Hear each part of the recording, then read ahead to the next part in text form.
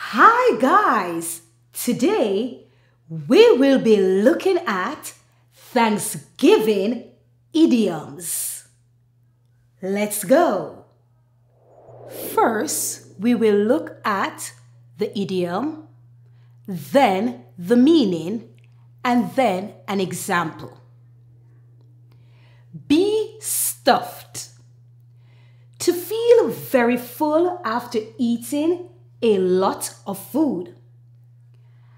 I can't possibly have ice cream. I'm stuffed. Eat like a bird. To eat a tiny amount of something.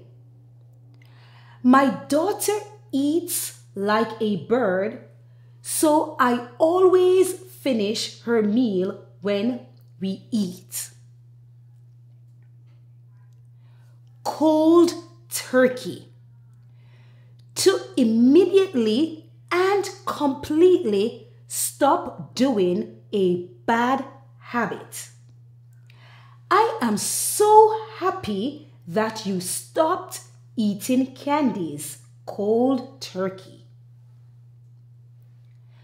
Stuff it to tell someone to stop talking. I was shocked when my son told his sister to stuff it. Talk turkey. To talk seriously about something. I hope everyone comes to the party ready to talk turkey stuff your face. To eat a lot. I stuffed my face during lunch today. Gobble up. To eat something very quickly. Let's get to the party before everyone gobbles up the delicious food stuffed shirt.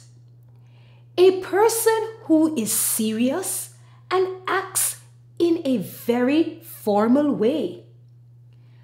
The class party was boring because I was seated at a table with all the stuffed shirts.